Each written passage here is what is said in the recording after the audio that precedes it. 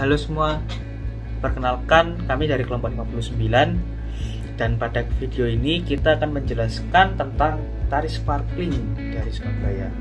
Jadi ciri-ciri dari tari ini yaitu tariannya yang rancak dan heboh yang menggambarkan karakteristik orang Surabaya. Tidak lupa dengan kostumnya yang berwarna uh, intrik seperti merah, emas, kuning atau hijau dan juga alunan musik gamelan yang mengiringi membuat tarian ini menyebarkan semangat bagi para penonton. Gerakan dalam tarian ini cenderung cepat dan juga lincah, sesuai dengan tema tarian tersebut.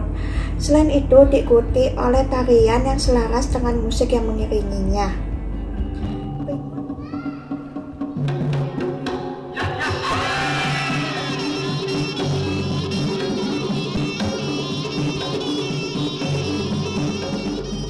Berikut adalah kostum-kostum dan pelengkap-pelengkapnya. Selanjutnya adalah kostum dan perlengkapan. Nah, pada tarian Sparkling Surabaya ini, penari menggunakan kostum seperti kemban dan kebaya di bagian luarnya. Sedangkan untuk bagian bawahnya itu mereka menggunakan kain yang panjangnya kira-kira semata kaki dan juga memakai aksesoris sebagai pemanis guna agar para penari itu terlihat lebih cantik dan lebih tertarik dan menarik. Untuk warna, biasanya dapat bermacam-macam, seperti berwarna hijau, kuning, merah, biru, dan emas.